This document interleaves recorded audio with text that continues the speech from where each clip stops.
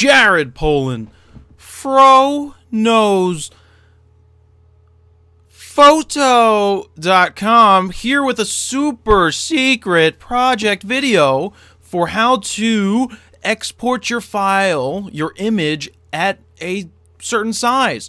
Uh, when we ask for people to send us a file that's 1000 pixels on the longest side, sometimes people don't understand how to convert that file. They can do the full res file. They sometimes send the raw file, which I usually don't want because that's too big of a file. It's a 25 megabyte file sometimes that they send.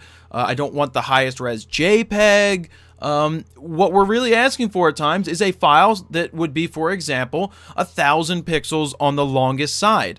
Uh, what why we ask for that is because it's usually a smaller file, but still can be displayed very well on the screen. So I'm going to do this in Lightroom, Photoshop, and I just figured out how to do it in iPhoto, which is a program that I've never used. So if we can do it in those three programs, you can do it in Elements, you can do it in Picasa, I'm sure. So all of these other programs, they're all going to be pretty similar. So we have a photo here. Photo, it's a photo of me. Yep, that's me in a cowboy shirt.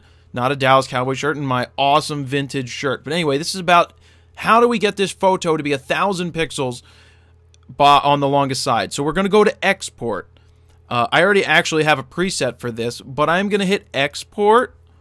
And then right here, we have the different settings. What does it say?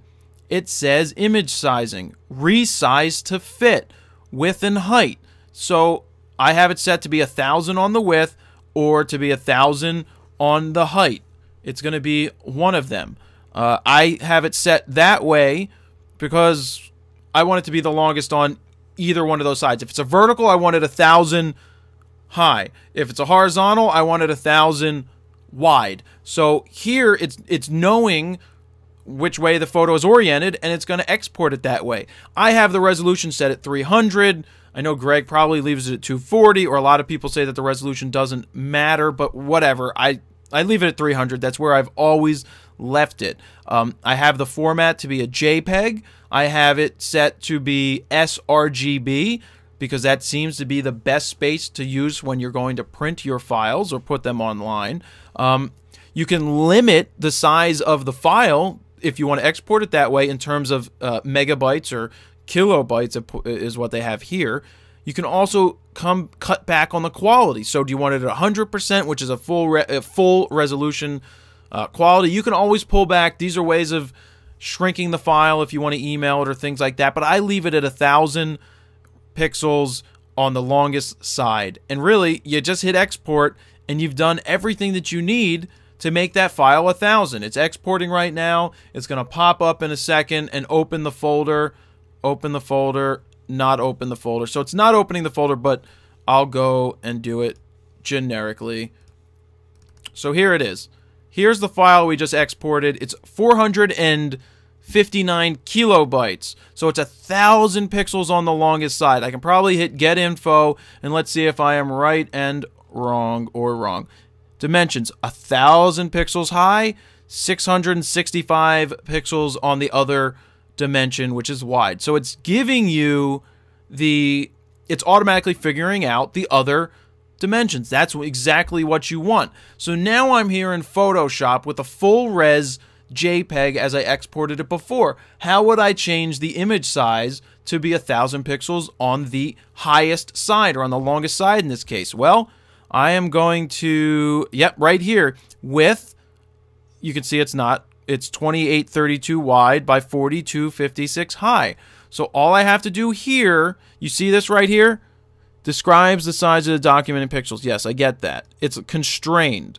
So we're they're tied together. So if I change this, it's automatically changing that. If I make this a thousand, it's going to make this longer because it's 1503 because it's a longer size. So I want this to be 1000. You can see that it's changing the width to 60, 665 automatically. And I hit OK. It resizes the image. And then I would just go File, Save As and save it as a JPEG to my desktop. Well, we'll just do it. Let's save it. I'm just going to make it a 111 just for the time being.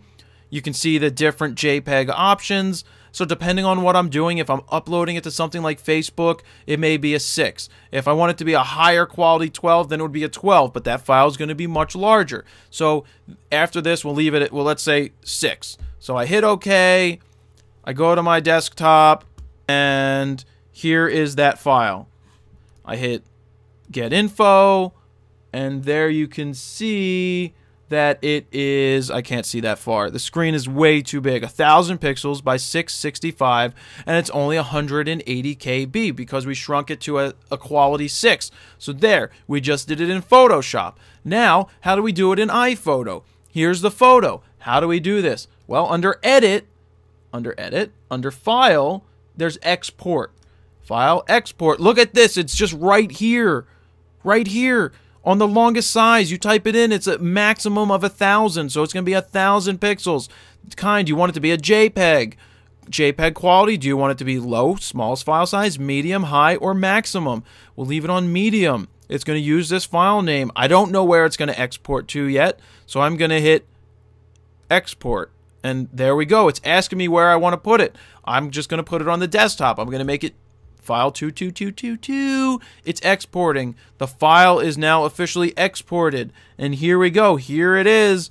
Get info. And look at this.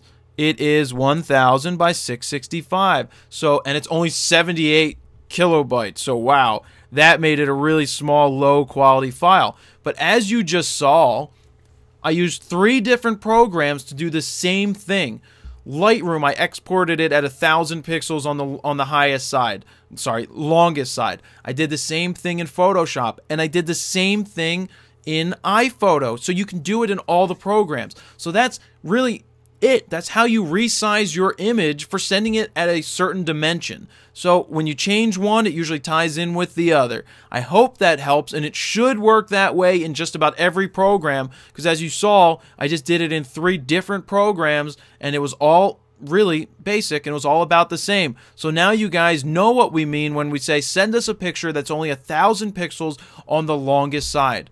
There you go. Jared Polin, Fro knows photo.com. See ya!